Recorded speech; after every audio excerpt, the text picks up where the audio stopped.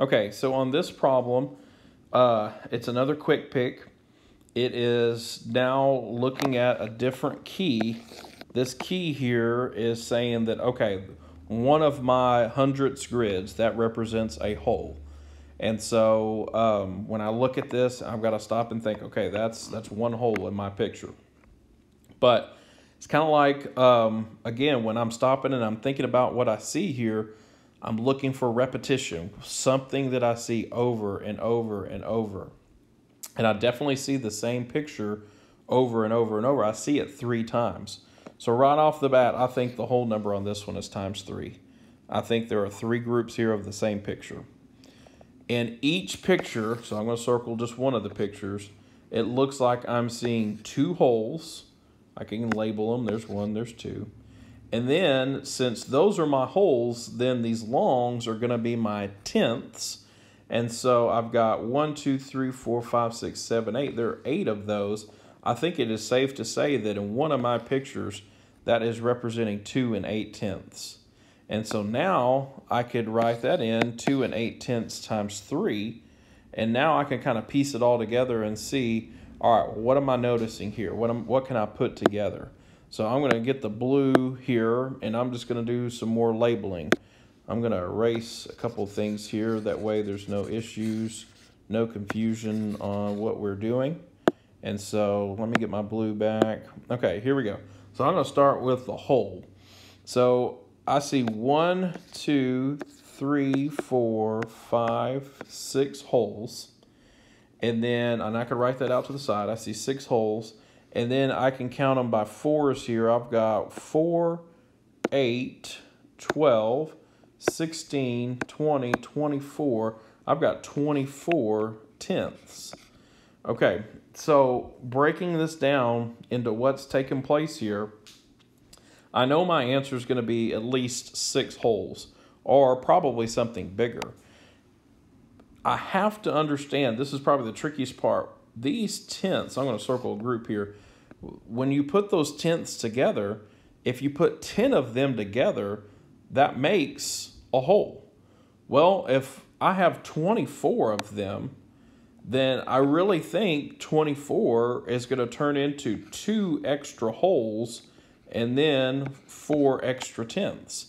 So it's almost like saying if I have 24 wholes there, or excuse me, 24 tenths there, 24 tenths is the same as 2 and 4 tenths. And so now I'm going to circle the two numbers that I think I'm going to combine. In this case, I think it's going to be 6 wholes and then 2 and 4 tenths to give me the answer of 8 and 4 tenths. I feel like that should be my final answer on this model.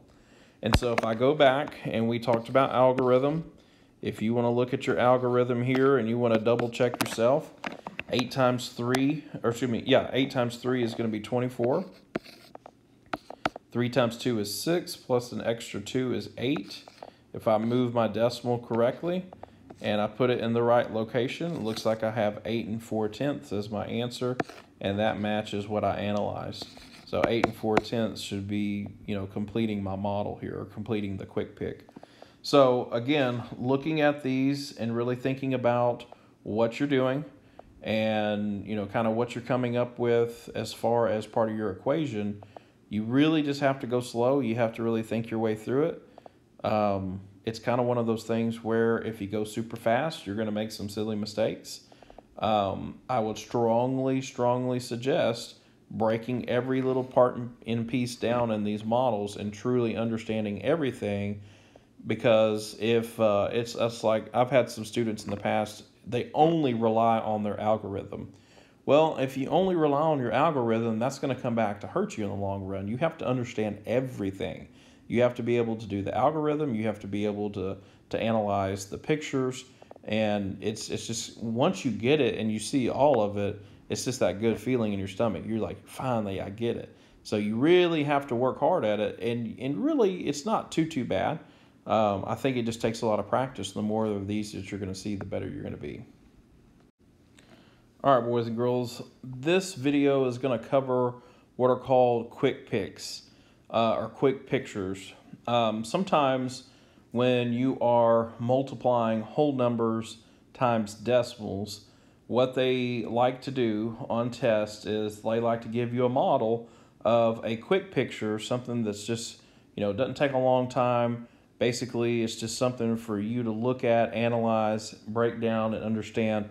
Well, what did they mean by that picture? What what math problem do they mean by, you know, them showing me this picture?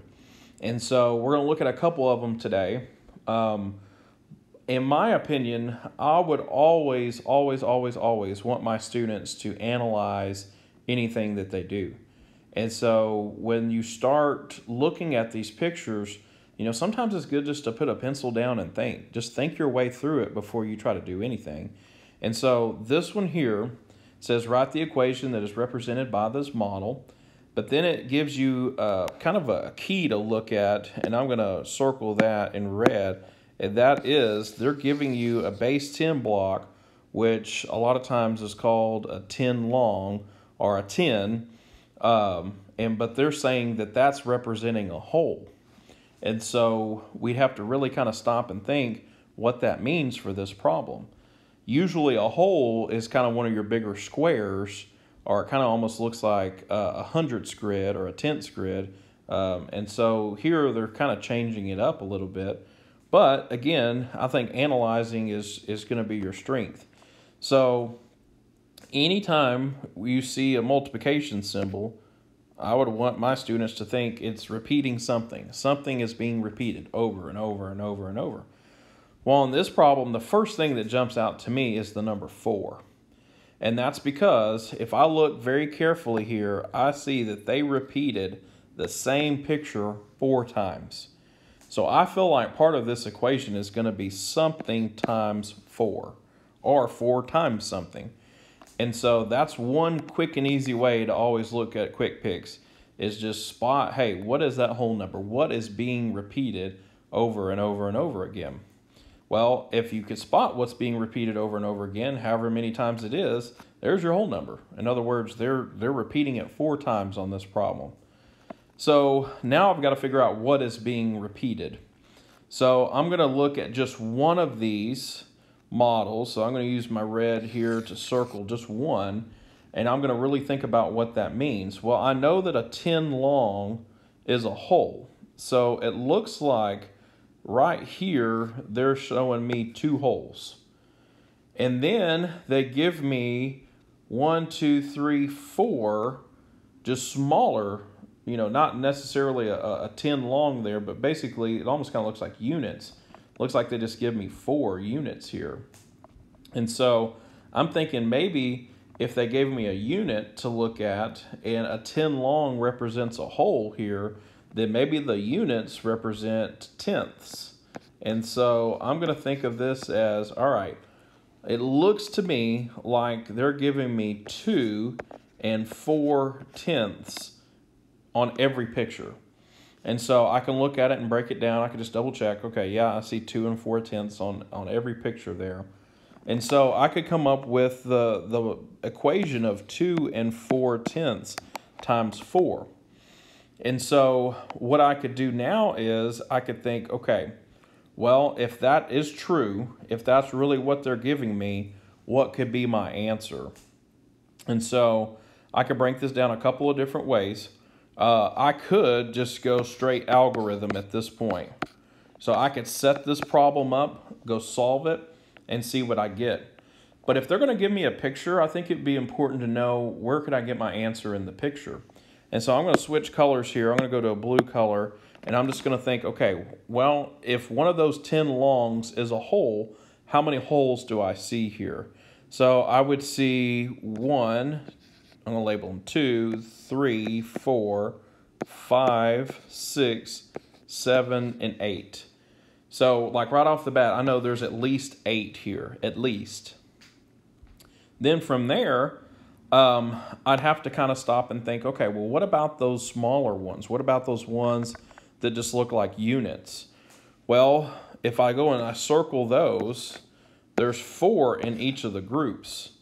So I could think, okay, well, four, I could skip count four, there's eight, there's 12, there's 16.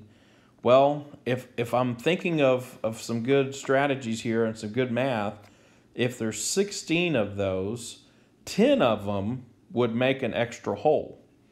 So if I've got 16 of them, 10 would give me one extra whole. So maybe now I'm thinking, okay, instead of calling this 16, maybe I'll call it 1 and 6 tenths. Because really there's one extra whole from that and then 6 extra tenths. And so now I'm really thinking about these two numbers and combining them. So I have 8 and then I have an extra 1 and 6 tenths. Well, that's pretty easy if you're really thinking about it. If I combine those or if I add them together, I'm thinking the total here could be 9 and 6 tenths. And so now what I want to do, I'm going to switch back to my red. I'm going to go back over to my algorithm and I'm going to think, okay, if I truly solved this problem, if I wanted to go and show my work here, and we're, you know, again, when we're going through this, algorithms are, are really important.